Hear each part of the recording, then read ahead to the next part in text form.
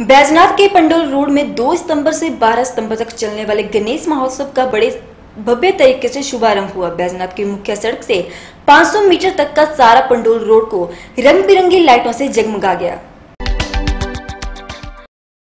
बैजनाथ के पंडोल रोड में 2 सितंबर से 12 सितंबर तक चलने वाले गणेश उत्सव का बड़े भव्य तरीके से शुभारंभ हुआ। बैजनाथ के मुख्य सड़क से 500 मीटर तक पंडोल रोड को रंग बिरंगी लाइटों व फ्लोरिसेंट होर्डिंग से जगमगाया गया है। गौरतलब है कि पिछले वर्ष की भांति इस वर्ष भी भव्य गणेश उत्सव का आयोजन किया जा रहा है, जिसमें देश भर के नामी गिरामी गायक कलाकार प्रतिदिन अपनी मनोहारी गायकी से लोगों को आनंदित करेंगे। साथ ही साथ भक्तों को दिव्य झांकियों के माध्यम से ईश्वरीय लीला का दर्शन भी करवाएँगे।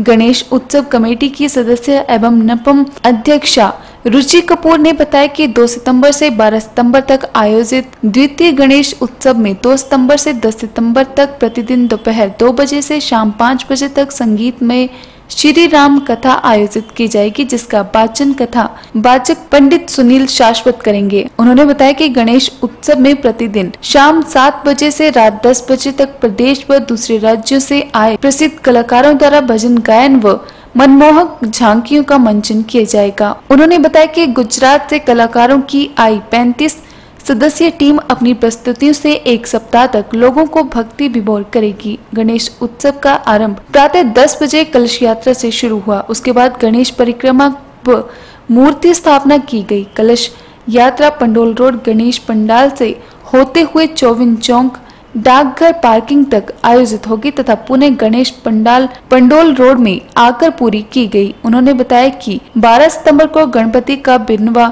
नदी के तट पर विसर्जन किया जाएगा तथा उसी दिन विशाल भंडारे का आयोजन भी किया जाएगा। आज द्वितीय गणेश उत्सव पंडोल रोड बैनाथ में शुभारंभ हो चुका है। आज सुबह इसका शुभारंभ कलश यात्रा से हुआ।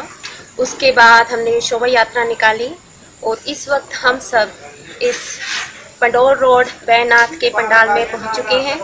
और ये सिलसिला इसी तरह 10 दिन तक चलता रहेगा। इन 10 दिनों में दोपहर दो बजे से लेकर पाँच बजे तक रामकथा का आयोजन किया गया है।